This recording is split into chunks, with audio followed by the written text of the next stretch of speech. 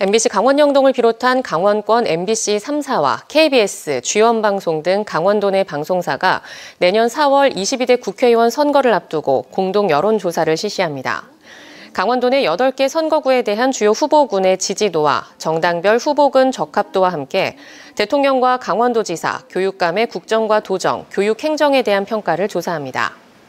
이번 조사는 선거구별로 500명씩 100% 무선 전화 면접으로 진행하고 결과는 오는 18일부터 22일까지 순차적으로 보도합니다.